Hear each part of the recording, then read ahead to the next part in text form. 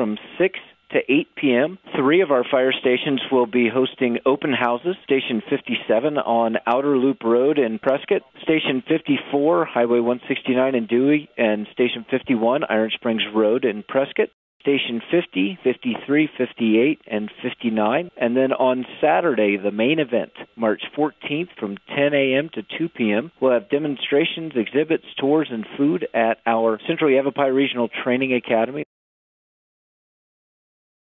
The first one is this weekend, February 28th and March 1st, March 7th and 8th, April 4th, and April 18th, as well as March 6th. So thank you to Antelope Lanes and to Plausible. They can sign up online, www.azbigs.org forward slash BFKS, or they can call our office. And the other way to do it is they can just come into our office at 3208 Lakeside Village Drive